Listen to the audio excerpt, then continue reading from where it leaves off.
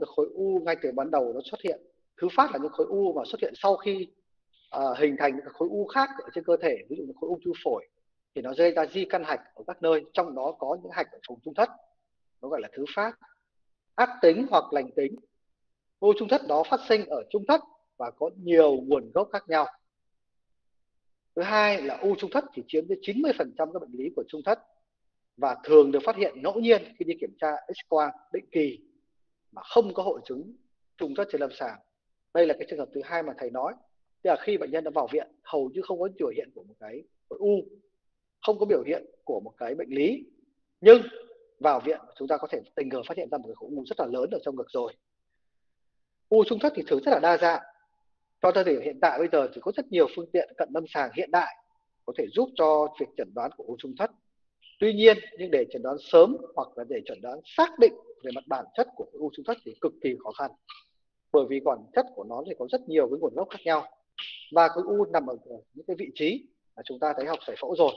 Cái vị trí của trung thất là một trong cái vị trí rất rất rất là quan trọng trong cơ thể của chúng ta. Nó chứa nhiều thành phần, đặc biệt là những thành phần như tim, các mạch máu lớn, khí phế quản. Đó chính vì vậy là cái việc mà chẩn đoán xác định cái loại u đó là loại gì thì rất là khó khăn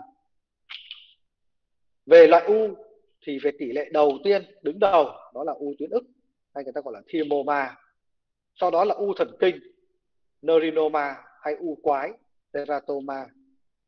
Đặc biệt là trên lâm sàng có các hội chứng về trung thất, nhưng không nhất thiết các hội chứng đó xuất hiện bởi do u trung thất. Những hội chứng đó có thể xuất hiện do việc tràn dịch, tràn khí, viêm trung thất, hay bản thân có thể là do u phổi, đều có thể gây ra hội chứng trung thất trên đây cái hình ảnh x quang, các em thấy có một cái khối rất to ở vùng chính giữa. Đó, đây là x quang lồng ngực này. Thẳng, quý ước. Chúng ta thấy rằng có một cái hình ảnh bóng rất to ở vùng chính giữa trương trung thất. Người ta gọi là bóng trung thất giãn rộng. Đây là một cái hình ảnh tương đối điển hình về x quang trên một khối u ở vùng trung thất. Thứ hai, giải phẫu và phân chia trung thất. Phần này là phần thầy muốn nhắc lại một chút cho các em về mặt giải phẫu và phân chia trung thất. Cái này là phần rất quan trọng để các em có thể biết được. Sang bên lâm sàng, cái này nó thuộc về nhóm nào? Nó là cái gì? Thứ nhất, trung thất hay tiếng latin là mediastinum, là một khoang trong lồng ngực, nằm ở giữa hai vùng phổi và màng phổi. Trung thất được giới hạn ở mặt trước là mặt sau của xương ức và sụn sườn đây là phần xương ức và sụn sườn. Mặt sau là mặt trước cột sống. Đây là phần cột sống. Hai mặt bên đó là phổi và màng phổi. Bên dưới là cơ hoành. Ở bên trên đó là nền cổ. Trong trung thất có nhiều cơ quan cơ thể được sắp xếp một cách tuần tự và sát vào nhau, trong một cái khoang rất chật hẹp. Nhìn ở bên siêu phim nghiêng trên hình ảnh sơ đồ nghiêng thì chúng ta thấy rằng trung thất nằm ở đây. Hình màu đỏ này là hình màng ngoài tim. Đây là vùng xương ức, đây là vùng cột sống. Trung thất đã nằm mặt trước cột sống và phần sau xương ức. Nằm ở giữa của hai bên phổi và màng phổi. Đây là phổi trái, bên này là phổi phải. Thứ hai là phân chia trung thất. Có nhiều cách phân loại phân chia trung thất.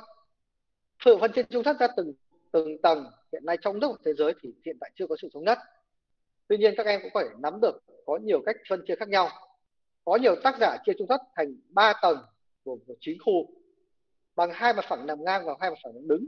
Đó là phân chia theo Biretti và Corey năm 1958 có tác giả sẽ chia trung thất thành hai tầng, bốn khu bằng một phần mặt phẳng nằm ngang.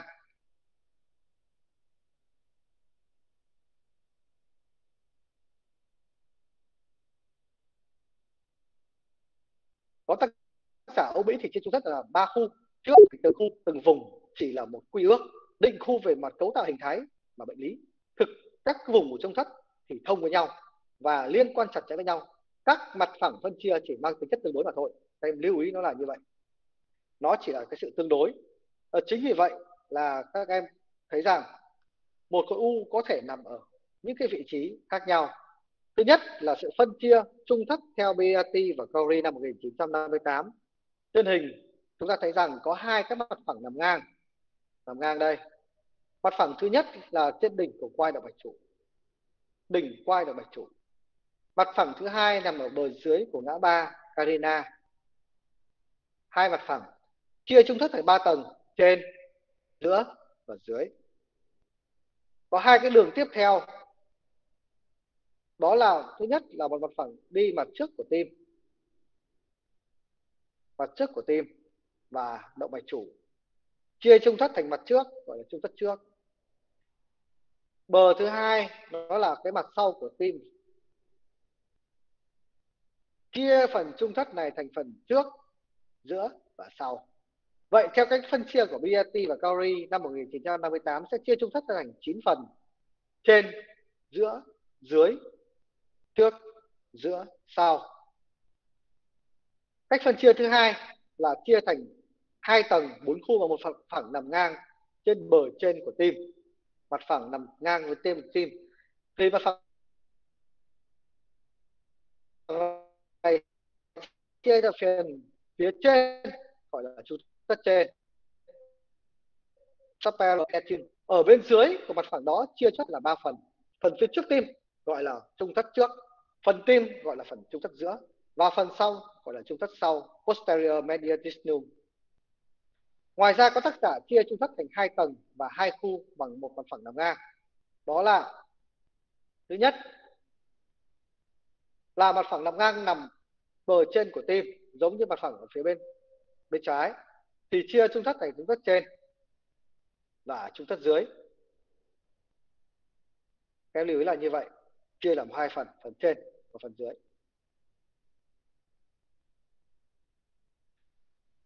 Ngoài ra, theo sự phân chia,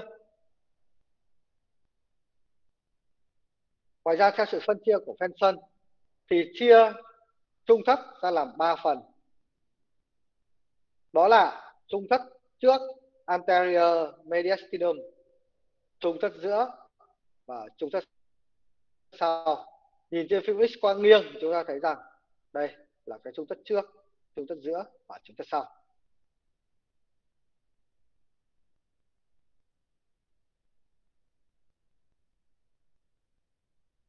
Đây là một số cái sơ đồ về cách phân chia của Fenson chia ra làm một phần trung thất trước, tức là cái mặt trước của tim các mạch máu lớn.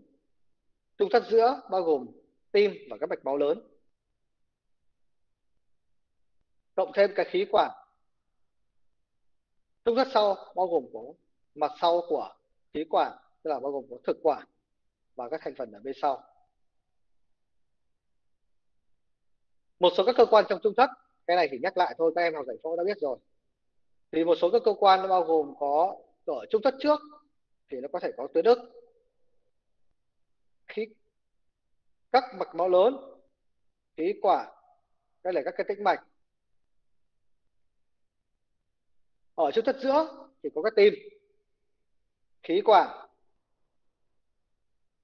cái lưu ý là như vậy. Các hạch ở vùng khí quản các cái tĩnh mạch lớn như là tĩnh mạch chủ trên, tĩnh mạch chủ dưới, đầu trên của tĩnh mạch chủ dưới. Trung thất sau thì có thực quản nhánh trái của thanh thần kinh quạt ngược ống ngực. Hệ thống thần kinh giao cảm, chuỗi hạch giao cảm ngực.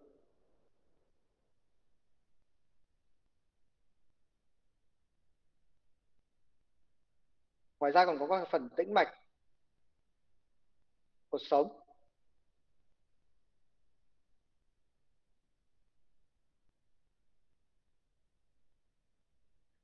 Phần thứ ba là phân loại u trung thất. U trung thất thứ nhất có thể phân chia theo định khu của u trung thất, tức là phân chia theo vị trí. Thì bao gồm có trung thất trước. Trung thất trước bao gồm có u nguyên bào, tế bào mầm, gọi là germ cell.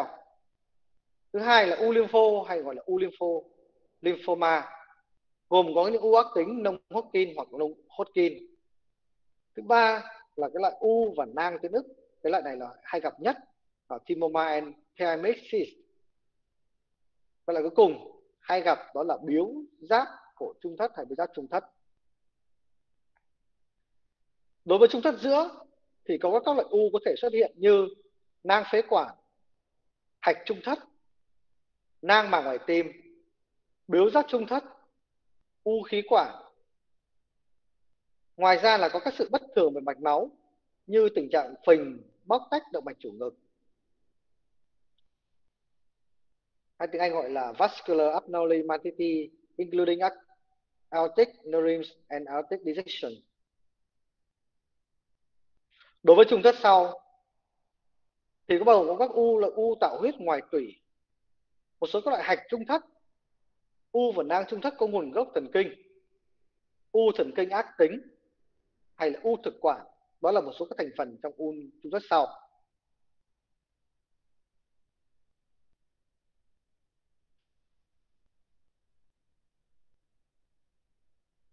ba chấm hai, đó là cái sự phân chia các loại, các tiếp tế bào của u theo Rosenberg năm 1985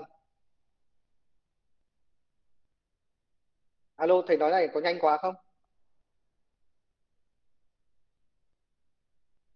Dạ không ạ.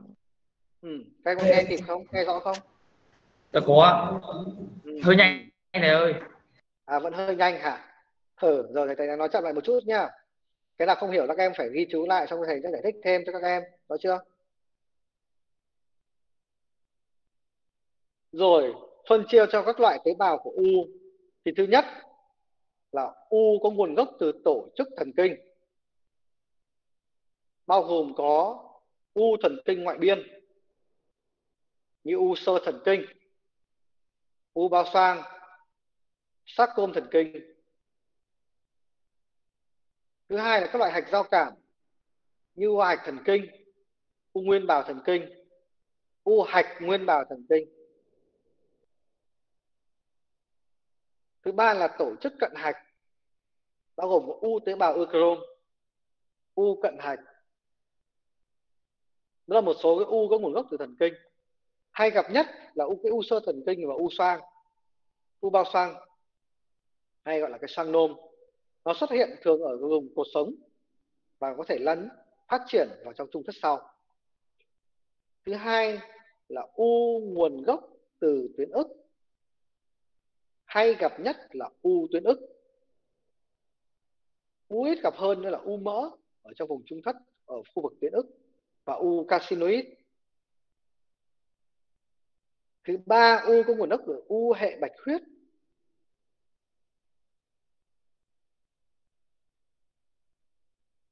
bao gồm có các loại u hạch như bệnh Hodgkin, nông Hodgkin, u lymphoma bào, u không biệt hóa.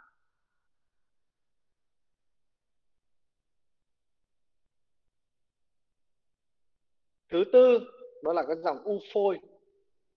Có các loại như là u tinh, u không tinh, u tế bào phôi thuần khiết, u tế bào phôi pha trộn, u quái. U quái thì nó sẽ chia ra làm hai cái nhóm. Nhóm thứ nhất là u quái lành tính thứ hai là nhóm u quái không thuần thục. U quái không thuần thục. Đây là cái nhóm u ác tính tiến triển rất là nặng bệnh nhân mắc từ rồi tuổi trẻ và có thể dẫn đến tử vong sớm.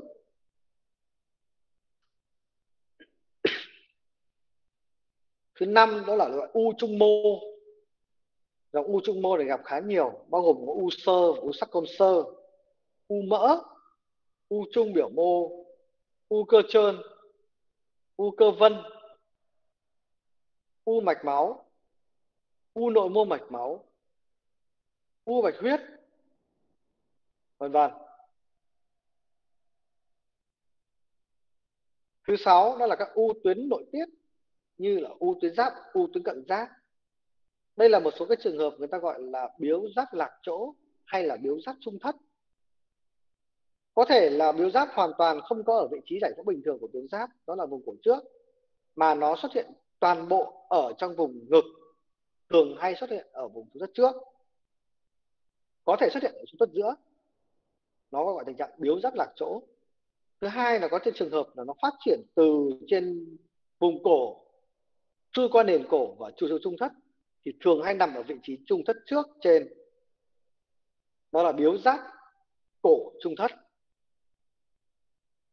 Thứ bảy đó là các loại u nang, bao gồm có u nang màng tim, u nang nguồn gốc phế quản, u có nguồn gốc từ tế bào ruột, u nang tuyến ức u ống ngực u nang màng tủy hay cái, cái tình trạng thoát vị màng tủy ra ngoài cuộc sống chui vào trong trung thất.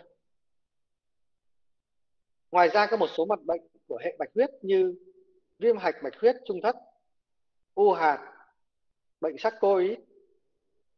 bệnh sắc ý là một cái bệnh rất hay gặp đó là một cái tình trạng viêm hạt một cái hạch rất nhiều hạch ở trong vùng trung thất và gây ra tình trạng viêm. Bệnh nhân có một cái biểu hiện rất sốt nhẹ sốt nhẹ thôi và không có thể điều trị nếu bằng một kháng sinh, kháng viêm thông thường, mà chỉ có thể khỏi bằng corticoid. Em lưu ý như vậy, có một số các bệnh như vậy. Ngoài ra, có một số cái khối u từ giữa ổ bụng lên, ví dụ như là có bệnh lý thoát vị cơ hoành, thì có các tác tạng ở giữa ổ bụng như là dạ dày, thường hay gặp nhất, hoặc là thoát vị đại tràng không đại tràng gốc gan, đại tràng gốc lách, có thể qua cái khe hoành và vượt lên cao, hoặc là trong chấn thương ngực thì có thể gây ra tình trạng thoát vị các cái cơ ở trong ổ bụng lên trên vùng cường ngực. Sau ngày khi chúng ta chụp ra phim ra thì tưởng nó tổn thương nó có thể là cổ cơ của trung thất. Đó. Và cuối cùng đó là một số cái phình mạch lớn trong trung thất. Ví dụ như ban đầu như thầy hướng dẫn đó là cái uh, phình hoặc là cái bóc tách cái động mạch chủ ngực thì có thể gây cái tình trạng hình ảnh cái dạng u trong trung thất. Đó là cái cách phân chia tế bào u các loại u theo Rosenberg năm 1985 trên đây là một số hình ảnh đại thể và vi thể của những tế bào u trung thất. Đây chúng ta thấy rằng một khối u rất là to nằm ở cái vùng trung thất. Đây là cái lá phổi lá phổi hai bên. Đây là phổi đây là phổi. Đó một khối u rất to nằm ở chính giữa của vùng ngực. Sau khi cắt xong thì nó một khối u tròn à, gọi u bình bầu dục. Vỏ nhắn dày rất rõ màu gì trắng cứng chắc. Đây là một loại tế bào u thần kinh. Còn bên này đây là hình ảnh là u tuyến ức.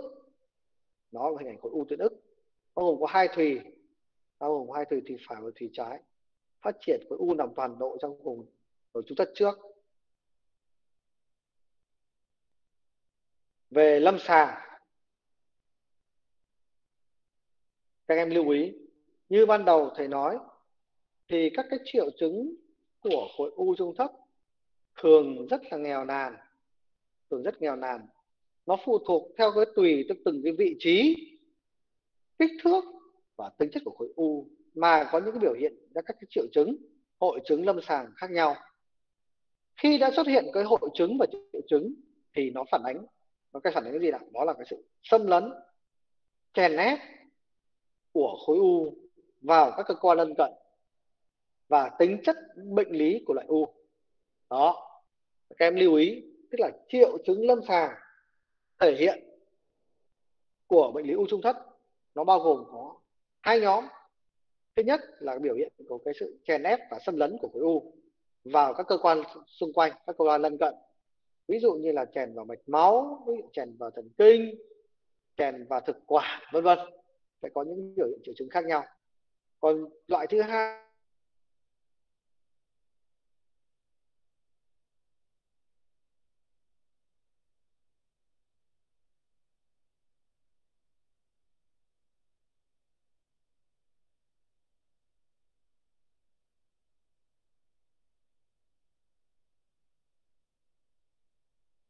hai nhóm triệu chứng thứ hai là cái triệu chứng của bạn khái huyết. Cái này là biểu hiện do chèn ép vào đâu nào? Ho và khái huyết thì chèn ép vào đâu? Em có biết không? Đó là chèn ép vào khí quản và phế quản. Tình trạng khái huyết ở đây là có thể cái khối u nó xâm lấn phá vỡ vào cái tổn thương cái mao mạch nhu mô phổi mao mạch khí phế quản tổn thương khí phế quản và gây ra tình trạng chảy máu ở trong lòng khí phế quản và gây ra tình trạng khái huyết ở bệnh nhân. Thứ hai là triệu chứng khó thở. Biểu hiện thở khò khè, thở rít ở thì thở vào. khó thở ở đây là do cái sự cản trở một cái khối u cản trở cho cái đường thở đó làm cho cái vấn đề quá trình tham gia hô hấp bị hạn chế cái sự lưu thông đường thở của bệnh nhân bị kém. Nên khi không khí, luồng không khí, bệnh nhân thở vào đi qua một cái khe hẹp, bị chít hẹp, sẽ gây ra một tiếng rít hay tiếng thở khò khè. Triệu chứng thứ ba, đó là triệu chứng đau ngực. Đau ngực ở đây là có thể do cái tình trạng khối u xâm lấn vào cái màng phổi màng phổi trung thất. Xâm lấn qua thành phần thần kinh, các dây thần kinh ở vùng ngực, gây ra tình trạng rất là đau ở vùng thành ngực. Cái đau ở đây thường đau âm ỉ, liên tục, căng tức, ít khi có biểu hiện đau chói, đau không thay đổi về mặt tư thế, đau không thay đổi về mặt tư thế dùng thuốc giảm đau thì chỉ có giảm nhưng không có hiệu quả nhiều. Hết thuốc thì bệnh nhân lại có thể đau trở lại. Và không có tư thế giảm đau. Và không liên quan đến tư thế và không có tư thế giảm đau. Và không giống như cái đau trong chân tức ngực kín, trong chân tức ngực, thì chúng ta có thể đau do tư thế là gì? Khi bệnh nhân vận động này, bệnh nhân căng giữa này, bệnh nhân vươn vai này, bệnh nhân thở mạnh, bệnh nhân hắt hơi, là liên quan vấn đề tư thế thì sẽ bị đau một cái điểm đau chói cố định. Đấy là có đau theo tư thế. Và khi bệnh nhân trùng cơ xuống, trùng nhẹ cơ xuống, bệnh nhân hít thở nhẹ nhàng, không vận động, nghỉ ngơi tại chỗ thì sẽ bệnh nhân thấy đỡ đau. Đó là liên quan vấn đề tư thế. Nhưng đối với khối u ở vùng trung thất thì không có cái biểu hiện đó. Mà bệnh nhân đau âm ỉ liên tục, ngày này qua ngày khác. Đôi lúc có thể đau tăng hơn, dùng thuốc giảm đau thì không đỡ các em lưu ý là một số cái đặc điểm của đau của vùng u trung thất là như vậy. Triệu chứng thứ hai, nhóm triệu chứng thứ hai là các cái nhóm triệu chứng chèn ép về thần kinh. Triệu chứng chèn ép về thần kinh. Thứ nhất là hội chứng pancostobias hội chứng pancostobias đặc điểm của nó, nguyên căn đó là có một khối u ở vùng đỉnh phổi, ở vùng đỉnh của trung thất, sát ở vùng trung thất trên. Các em nhìn trên phim x quang hiện tại trên màn hình. Ở vùng trung thất trên, tương ứng vùng đỉnh trên của phổi bên trà phải, có những cái bóng mờ bóng mờ. Kích thước tương đối lớn, đa cung. Bóng mờ thuần nhất bờ gọn rõ. Khối u ở đây trên x quang này thì chúng ta có thể căn cứ vào cái hình ảnh này mà chúng ta có thể nghi ngờ tổn thương đó là khối u của trung thất hoặc khối u của vùng đỉnh phổi bên phải.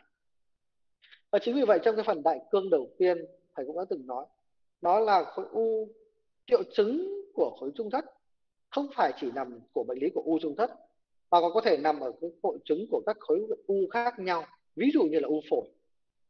Thì đây là một cái hình ảnh có thể chúng ta có thể thấy có một cái sự rất là rõ ràng về cái sự à, khối u nó nằm ở vùng đỉnh của phổi sát với cả vùng trung thất trên. Vậy khối u này nó là khối u trung thất hay khối u phổi? Chúng ta cùng về sau chúng ta sẽ học. Sai lâm sàng chúng ta sẽ cùng nghiên cứu và chúng ta sẽ biện luận một cách dễ dàng hơn tuy nhiên, đây thành hình ảnh là thầy muốn đưa cho các em xem, đây là hình ảnh khối u trung thất. Về đặc điểm của nó là nó nằm ở sát cái vùng trung thất trên, vùng đỉnh phổi bên phải, bờ thì gọn, rất là rõ. Đặc điểm mật độ của nó thì là mờ đều, thuần nhất. Và kích thước thì không xác định được rõ ở trên x quang.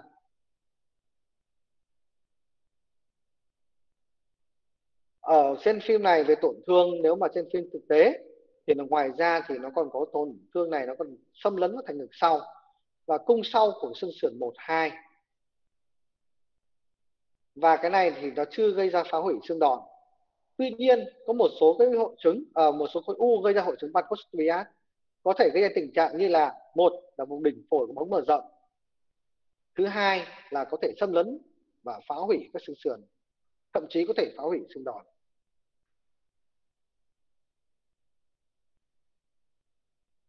Trong cái hội chứng Pancostobia thì bao gồm có những hội chứng nhỏ như sau. Thứ nhất là hội chứng Claude Bernard Horner hay là hội chứng Horner. Nguyên nhân nó là gây ra chèn ép hạch sao. Với biểu hiện của nó là đau nửa đầu, đau bên bị tổn thương. Rối loạn vận mạch của da ở nửa mặt bên đau. Khi bệnh nhân đau ngược bên phải thì sẽ đau đầu bên phải và rối loạn vận mạch của da như gây ra tình trạng da vùng mặt bên phải đỏ, nề tiết nhiều mồ hôi hơn bên trái. Mắt bên trái bị xa mi mi bị xa và có tình trạng co đồng tử. Đó là cái tình trạng chèn ép hạch sao do các khối u vùng đỉnh phổi, u vùng đỉnh trung thất, u vùng trung thất nó gây ra chèn ép hạch sao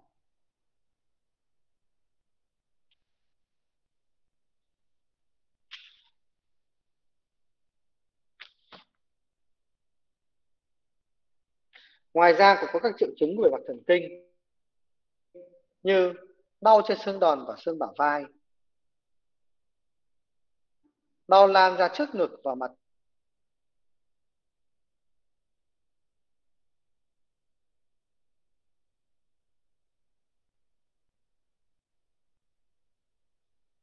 Thậm chí có thể gây ra tình trạng liệt nhẹ các cơ gấp, liệt nhẹ các gấp ngón tay do khối u chèn ép và nằm dấu thần kinh tay. Ngoài ra có thể đau khớp 7 t 1 đau khớp của bệnh một đau khớp đó.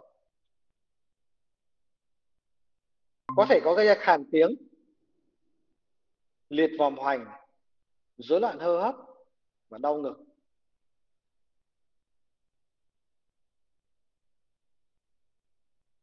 À, đây là một hình ảnh của tác giả Henry Pancoast các lưu ý cái Pankos Tobias đó là tên của hai tác giả. Đó đây thầy ghi lại để tỏ rõ cho các em. Nó tên của hai tác giả đó là tác giả Pankos và tác giả Tobias. Năm 1924 uh, ờ, bác sĩ X quang của Mỹ đã mô tả một hội chứng có một khối u vùng đỉnh phổi u trung thất trên gây nên. Ngoài ra thì tác giả Tobias của Argentina cũng là công bố một hội chứng đau ở vùng ngực vùng đỉnh ngực và vùng đốt sống do khối u vùng đỉnh phổi. Chính vì vậy người ta kết hợp hai cái triệu chứng hai cái, cái triệu chứng của hai cái tác giả trên tạo thành một cái hội chứng của uh, u trung thất vùng đình phổi hoặc u trung thất. Đó là hội chứng Pancostobias các triệu chứng như lúc ấy thầy nói như là khàn tiếng là do chèn ép cái thần kinh quạt ngược. Liệt vòng hoành do chèn ép vào thần kinh hoành. Rối loạn về mặt hô hấp cao huyết áp, chảy nước dãi, do chảy ép vào thần kinh phế vị. Ngoài ra có đau ngực, do chảy ép vào dây thần kinh liên sườn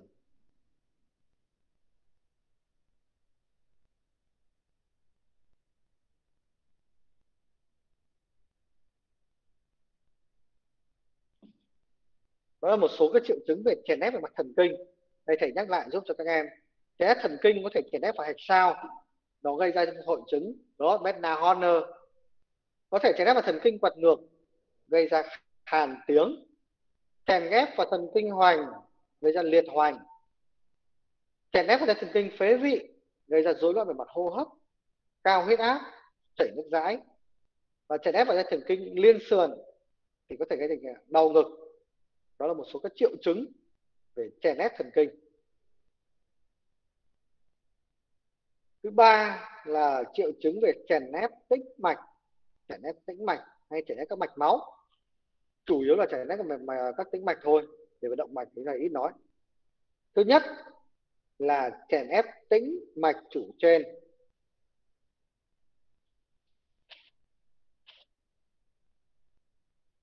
Tĩnh mạch chủ trên là nhận máu của ở đâu nào? Ở cái vùng gì? Vùng não ở một phần hai người trên ở trên người hai cánh tay.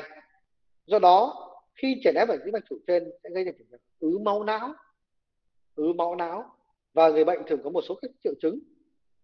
Điển hình đó là triệu chứng của phù áo khoác. Phù áo khoác là cái phù mi mắt, ở mặt, ở cổ, lồng ngực, lưng. Có khi phù cả hai tay hay là phù chi trên biểu hiện như là cổ thường to bệnh này, làm đầy các hố thượng đòn này, khiến cho người bệnh không thể cài được khuy áo cổ, người ta gọi là kiểu phù áo khoác. Thứ hai là có cái tĩnh mạch tuần hoàn bằng hệ ở trước ngực. Tuần hoàn bằng hệ ở trước ngực tĩnh mạch nổi thì to, tĩnh mạch cổ thì nổi. Tĩnh mạch ở vùng dưới cằm cũng nổi căng lên. Do cái chèn ép ở vùng ngực thì cái tĩnh mạch nó không đổ về được. Ở dưới nó sẽ gây ra ứ.